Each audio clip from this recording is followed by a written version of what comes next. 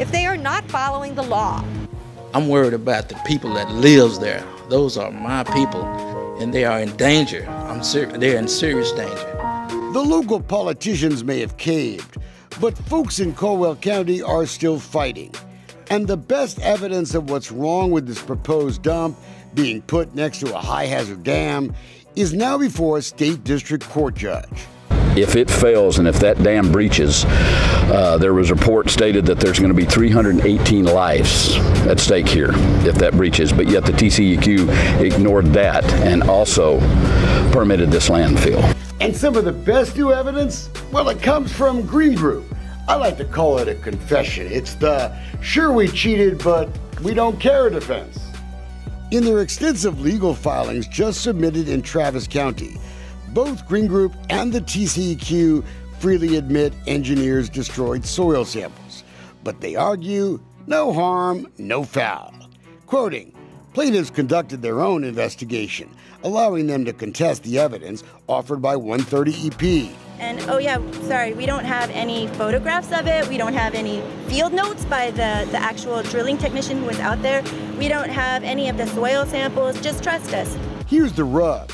It takes a heck of a legal fight to get to test the dump site on your own, and a bucket of money. And that's why companies like Green Group like to put their dumps where poor people live.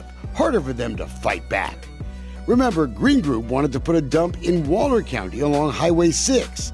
It took years, millions of dollars, to prove their engineering was wrong there. Those samples have been destroyed too, and it was the same engineers who worked on both projects. For a while, Green Group had a piece of a proposed toxic waste dump here in Laredo. That's done too, so their only remaining prize is this piece of land right next to the High Hazard Dam, above an aquifer in Caldwell County.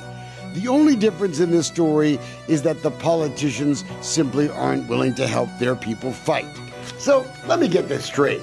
Gutless politicians in Caldwell County are now forcing their citizens to fight to keep the dump from being built. Really?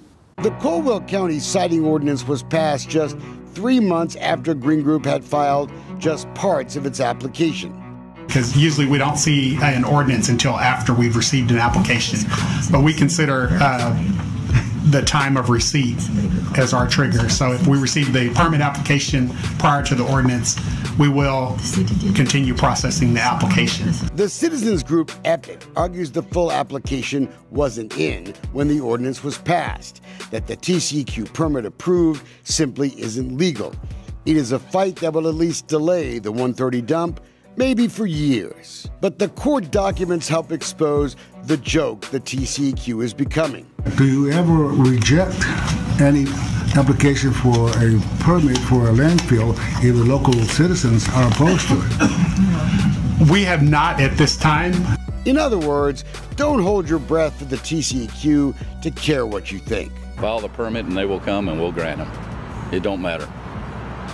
They're here for one reason, to permit landfills. There's no question they did Green Group a big favor, ignoring warnings the site was simply too dangerous, the engineering flawed. You would think that Green Group's conduct in Waller County would have raised a big giant red flag. The TCEQ may have missed it, but I didn't. Uh, we've said all along the TCEQ is just kind of a rubber stamp organization. They never really considered the uh, the items of the permit, whatever the applicant puts down is is the gospel truth. And that's why Green Group doesn't seem worried about their confession. Quoting, that argument can't support reversal, even if this court were to agree that different findings could have been reached. We should all watch this case in Austin because it's a real test of the TCEQ's power to simply ignore people, to ignore the evidence, to even ignore violations of their own darn rules. Stay tuned.